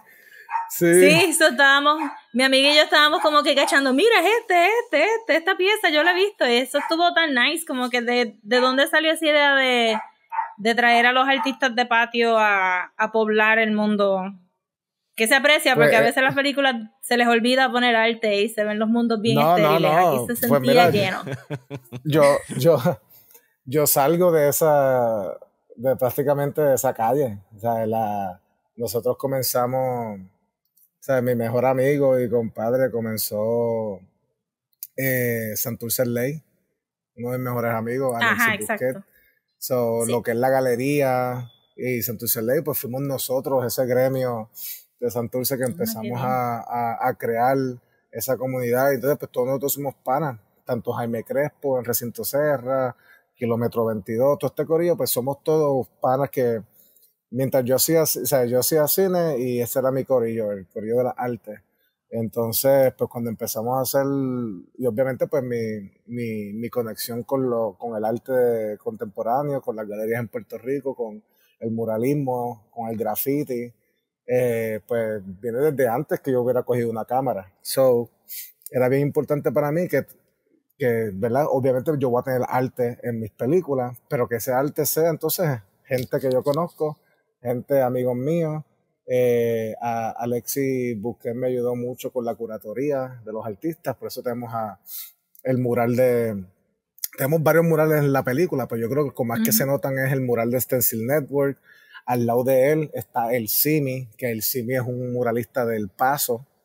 Este, ah, Tenemos cosas hechas en una esquina por eh, Esque, que es uno de los OGs de los 80 tenemos otro hecho con, por Miguel del Cuadro, eh, tenemos otro que hicimos con el Ismo. O sea, hay muchas cositas que están por ahí regadas de diferentes personas. Entonces, dentro de la casa está el arte de Pedrito Espían, está el arte de Jaime Crespo, y todo eso fue intencional, eh, pensando en poder tener a todos estos artistas que nosotros pues respetamos, que son panas, que son corillos, que tienen una estética específica para poder pintar, ¿verdad? Todo el arte de la película. Y incluso en la casa, en la bien casa, de los- en la casa coger todas esas referencias. Sí, por eso hay Sí, que ver la la Casa de los Reyes, hay cogiendo a Sí, sí, hay mucho, hay mucho, mucho. Hay, eh, en la, dentro de la Casa de los Reyes hay muchos artistas del paso por toda la Nice. casa. Hay libros también que se usan eh, para pintar todo eso. Eh, es bien, en verdad está bien, eh, fue algo bien bonito que logramos hacer, que nos salimos con la nuestra también haciéndolo, eh, porque hay muchos easter eggs de la gentrificación, este, eh, hay diferentes, hay tags por ahí que, que uno puede cachar que, ¿verdad? Hay un, como está el fuera cord, que es como el fuera luma, Ajá. Ajá. está el, gring, está el gringo go home, está todas esas Sí, cositas ese por ahí regadas. Sí, yo, no, pues yo a veces la- viendo la película y dije, yo no puedo creer que a Ángel le dejaron hacer una película donde una señora le grita abajo con los imperialistas a toda boca. yo, dije, yo no sé cómo esto pasó los censors en, en el estudio. Yo tampoco lo- sé cómo pasó, pero estoy, estoy bien agradecido de que, de que y ella no, y ella se le caga en la madre a, a, a, a, a, a, lo- a, lo- a los invasores en su casa. O sea, eh, Sí, no, y Nos que logramos- imagínate, pensando que lo primero que se quejaron de esto en el thriller fue cuando le dijiste fascista a Batman. Y yo dije, eso no es nada, hermano. Eso no es nada yo, lo que tiene yo aquí". decía, yo decía lo mismo, yo decía, diablo, si esto es lo que, eh, eh, si esto es lo que te tic, no veas esta película. O sea, exacto. Si te va a ofender algo que, que, que, que es ficticio, deja que tú veas lo, lo- el comentario real. Bueno, tú meti- metieron ahí Claro. ustedes en la Escuela de las Américas. O sea, a mí me sorprendió También. cuando vi eso, que se fueron por esa línea. Yo dije, wow, o sea, you're going deep en esto. Eh, Bueno, ya, nosotros decíamos, bueno, aquí pueden pasar dos cosas, o nos va bien o nos va mal, pero cualquiera de las dos vamos a zumbarla y si es la última vez la zumbamos y si no, pues seguimos. Y, queríamos aprovechar el momento también porque no queríamos que, ¿cómo te digo? No queríamos que, que una, la primera película donde el superhéroe y su familia, que es latina, está front and center, existiera en, en, en banalidad, existiera en, en, en stakes que son de fantasía solamente, sino que fuesen afectados por las cosas que nos afectan a nosotros, como lo es la gentrificación, como lo es el desplazamiento, como lo es las amenazas de no tener un techo, de no tener comida, de no tener educación, de no poder pagar educación.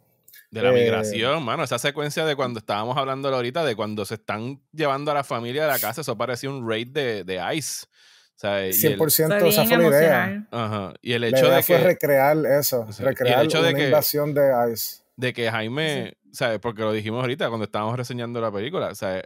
La mayoría de los superhéroes cuando le pasan eso, que tienen la muerte de algún familiar, porque siempre ocurre, ¿sabes? Tienen por lo menos ese momento de estar junto a ellos en el momento de, de que fallecen, pero Jaime y su familia ni siquiera, sea, le- les quitan ese, ese, ese momento de estar ese, junto al papá. ese momento de, de duelo, se lo Ajá. quitan. Entonces, pues, eh, eh, eh, subtextualmente queremos que la experiencia que conocemos del trope de los superhéroes, queríamos, la queremos hacer, no que, porque reinventar la rueda es demasiado pretencioso. Uno, que no me van a dejar Mm. reinventar nada, porque es un estudio.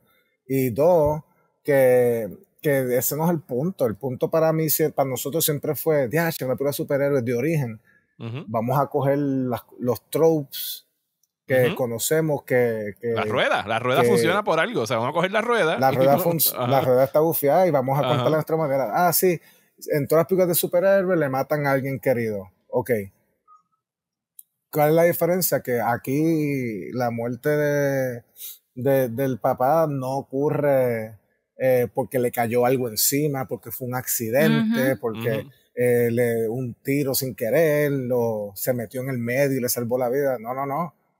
Es porque se le rompe el corazón, literalmente, al Sí. ver todo este ataque y al ver que todo lo que ha trabajado toda su vida se está quemando en un fuego por una persona que, lo, que, está, que está dispuesta a exterminarlos con tal de conseguir un objeto que no le pertenece. Entonces, Sí, para eh, nosotros ahorita- era, era bien importante vivir en ese realismo donde no, aquí queremos que se sienta de que lo- las cosas que nos afectan, como hacer esa, ah, sí, se meten a buscarlo, pues queremos recrear una invasión de ICE.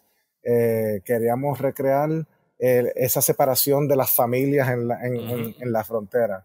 Queríamos recrear ese heartache que existe y ese, ese, a veces le, le, da un ataque al corazón por todo el estrés de lo que está sucediendo.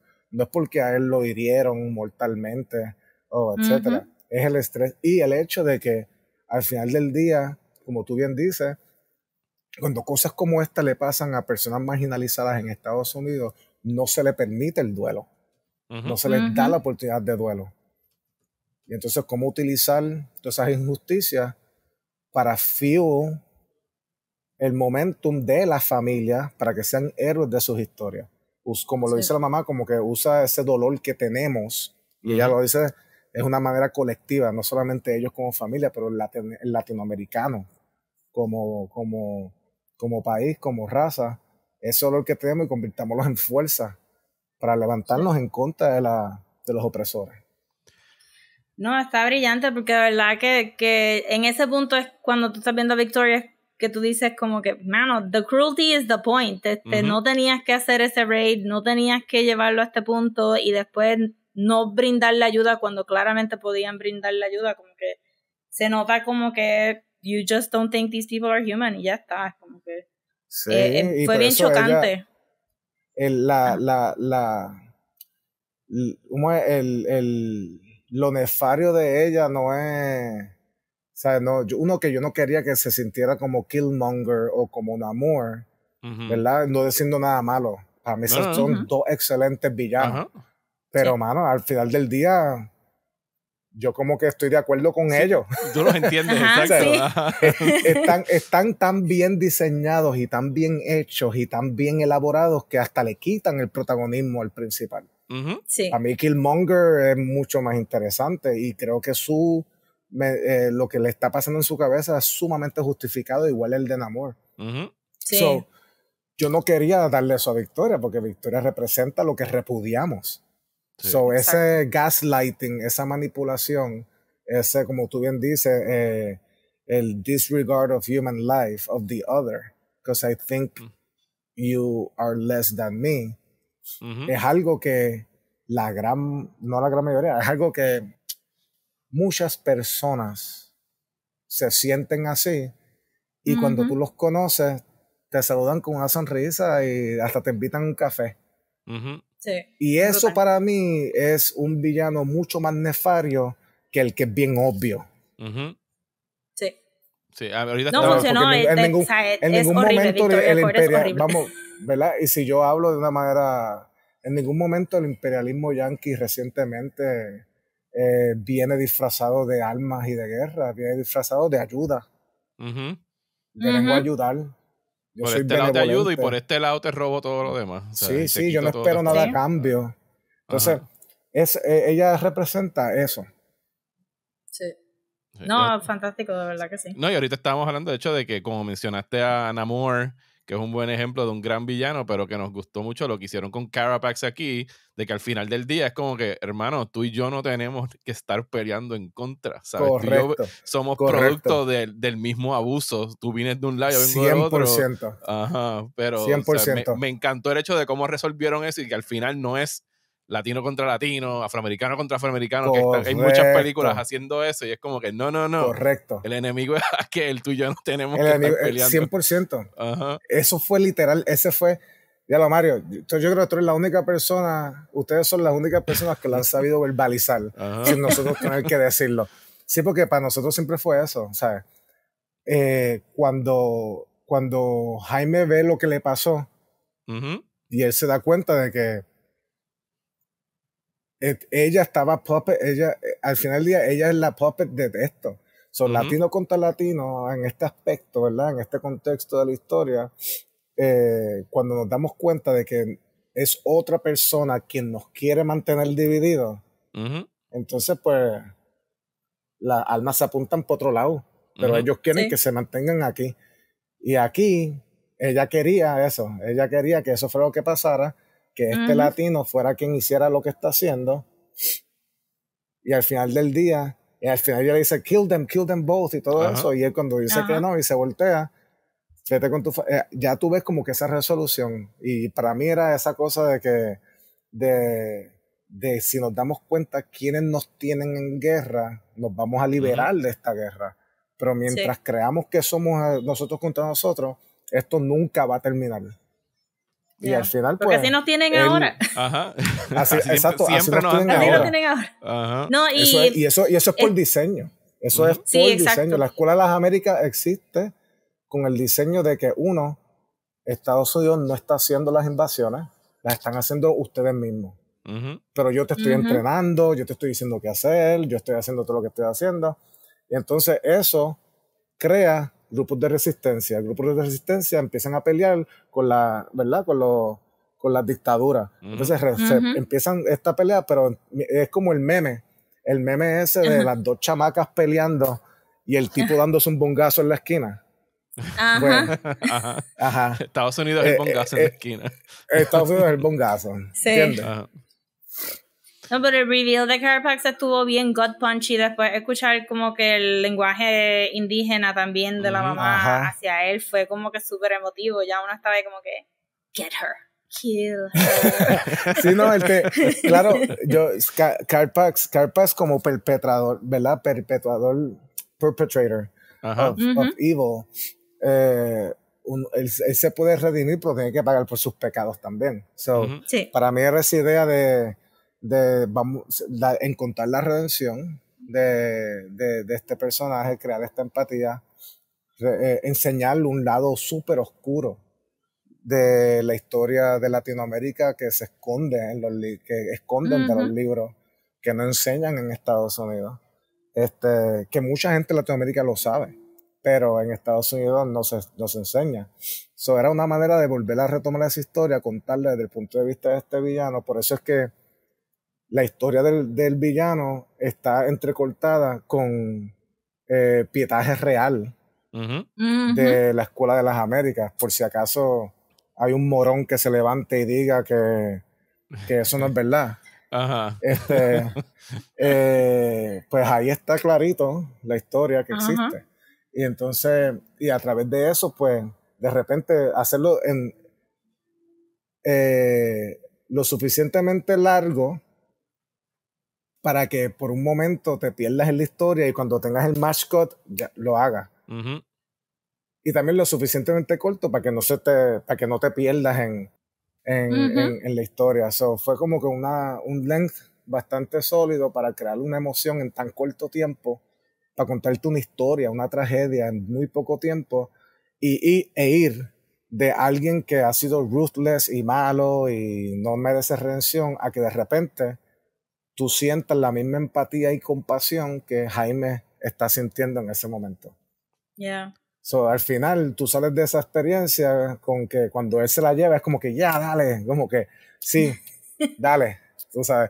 Y es como un sacrificio, ¿no? Es- él, él, él ya está de camino a su muerte, su mamá lo está llamando desde Ajá. el más allá y él decide llevarse un sacrificio, como quien dice, para, para redimirse de, de, de todo el daño que No le es que hizo. le diste, le diste un lugar en el Spirit Plane a los dos, porque Jaime se reúne con su papá en el Spirit Plane y después vemos a Carpax también y es como que hay un entendimiento de estos fueron dos historias diferentes pero se unen en muchos lugares. Sí, 100%. Todo quedó bien bonito, la- eh, ese realismo mágico del más allá y cómo esos planos eh, existen, o nuestra relación con esos planos hasta cierto Ujú. punto, Ujú. eh, queremos explorarlo y de la misma manera que al final del día, la misma manera cuando Carpax le está dando puño a Jaime, que le dice, You're just a scared little boy, eso está proyectando. Ujú. Porque al final del flashback, la última imagen del flashback es un scared little boy.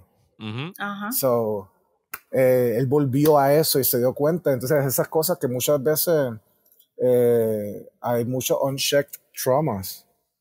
Y hay layers, y hay layers, y hay layers. Y entonces la idea de ese flashback era peel off the layers para llegar a la raíz del trauma. Entonces, Ujú. en esa raíz del trauma, darnos cuenta de cómo, ¿verdad? Personas como Victoria, lo que ella representa, no solamente la Escuela de las Américas, pero también lo que el imperialismo ha, ha hecho por siglos, es weaponized trauma. Entonces, llegar a ese punto donde ya cuando cada vez que tú ves a Carpax lo que estás viendo es ese niño con miedo hasta el final, pues te crea una empatía que emula lo que Jaime estaba sintiendo. Bueno, de eh. verdad que, de verdad que Unique Origin Story no empieza a cubrir lo que es esta historia de Jaime. Tiene tantos layers. Y por eso es que la vamos a ver. Muchos layers. Por eso es que la vamos a ver otra vez. Por eso es que invitamos a la gente a que la vaya a ver otra vez. Eh, mi nena ya la ha visto dos veces, no solo porque se quiere ligar a Cholo, porque es fan de Cholo de, Cobra Kai, eh, pero que le gustó mucho la, la, la, película. Y invitamos a la gente que está viendo esta entrevista que vaya a ver Blue Beetle, que está exhibiéndose ahora mismo en los cines. Ángel, has sido eh, muy generoso con tu tiempo. Ha sido un inmenso placer tenerte aquí. Eh, en lo personal, hermano, me da mucho orgullo ver lo que estás haciendo. Yo te conozco hace más de 12 años. Te entrevisté por primera vez cuando... Sí, 2008, 2007. Yo, la primera vez que yo te entrevisté. sagrado. Tú ibas ah, en Sagrado nos cruzamos. Yo te entrevisté en primera hora cuando tú ibas para Canes eh, con el cortometraje.